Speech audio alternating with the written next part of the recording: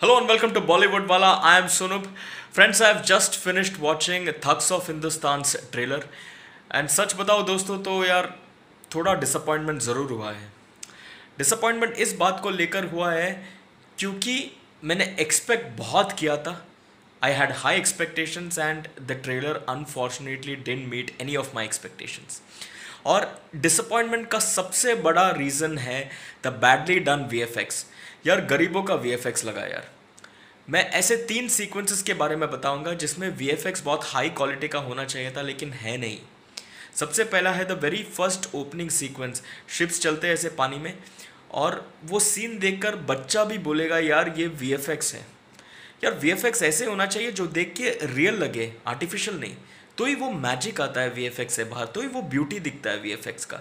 अगर आप देखकर बोल सकते हो, यार, ये वीएफएक्स है तो उसमें मज़ा ही नहीं रहेगा। तो ये था वो पहला सीक्वेंस जिसमें मुझे लगता था कि बहुत अच्छा वीएफएक्स यूज़ करना चाहिए था उनको।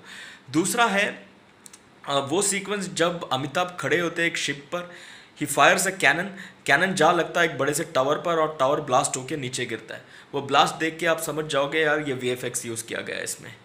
तीसरा है वो सीक्वेंस जहाँ पर आमिर जंप लगाता है। He dives and he lands on to the the deck of a ship वो देख के आप आराम से बोल सकते हो, भाई, ये भी वी एफ़ एक्स है। यार, आज के ज़माने में आप पीरियड फ़िल्म बनाते हो तो बाहुबली को ले लो एज ए केस स्टडी कितना बढ़िया वी एफ़ एक्स था यार। बहुत सारे सीक्वेंस चाहे वो वाटरफॉल हो, या फिर वो वॉर सीक्वेंसेस हो it was so beautifully done कि ऐसा लगा नहीं कि वी एफ़ एक्स है but it was V F X तो थक्स को भी कुछ ऐसा ही कुछ करना चाहिए। In fact Thugs should have gone a step ahead and marvelled us and you know made us bamboozle with phenomenal V F X but ऐसे हुआ नहीं अभी तक तो एटलीस्ट ट्रेलर में तो मुझे कुछ भी नहीं दिखा। और इसके लिए मैं दोषी ठहराऊँगा। वाई एफ़ एक्स स्टूडियो जो वी एफ़ एक्स का वी एफ़ एक्स जो जो सॉरी एफ़ का जो वी एफ़ एक्स आर्म है called Y F X guys, i think you could have done a better job. And this is my opinion that the vfx of thugs of Hindustan is very very very average तो ये थी VFX की बात जो मुझे disappointment कर गई। uh, दूसरा जो चीज़ है चलो परफॉर्मेंस की अगर हम बात करें तो let's talk about Aamir Khan first it's an out and out Aamir show Aamir ही आमिर आपको दिखाई देगा ट्रेलर में। द वे ही एंटर्स बहुत ही धमाकेदार यू नो एंट्री दिखाया है उनका। डांस सीक्वेंस भी है थोड़ा बहुत डायलॉग बाजी है, तलवारबाजी है so it's an out and out Aamir show and why not he is the biggest superstar in the country उनकी वजह से फ़िल्म बिकती है not just in India but even in China तो फिर आमिर तो रहना ही चाहिए ट्रेलर में, पूरी तरह से स्पॉटलाइट भी उन पर रहना चाहिए.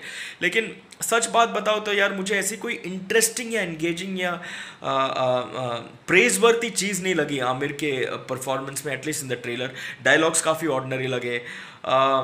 डांस भी ज़्यादा कुछ देखने नहीं मिला तलवारबाजी भी ठीक ठाक कुछ देखने मिला, लेकिन ऐसा कुछ माइंड ब्लोइंग चीज़ देखने नहीं मिला टू बी वेरी ऑनेस्ट जो मैं एक्सपेक्ट कर रहा था। अब आते हैं अमिताभ के पास। अमिताभ जी तो ऑब्वियसली उन्होंने वो strict angry focus discipline look maintain किया है। मुझे कहीं ना कहीं मोहब्बत का वो फील आ गया, जहाँ पर वो, वही सेम लुक में घूमते थे मतलब looking very strict very angry you know not to be messed with same यहाँ पर भी उनका किरदार ऐसे ही कुछ है।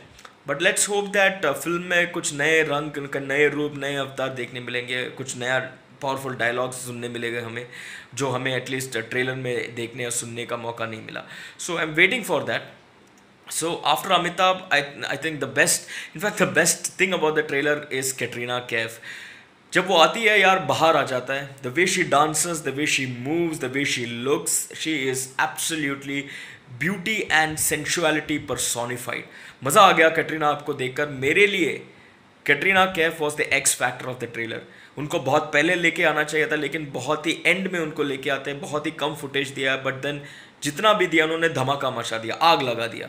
For me she was the real thug of Thugs of Hindustan चौथा है फातिमा सना शेख अगेन बहुत ही कम फुटेज दिया उनको।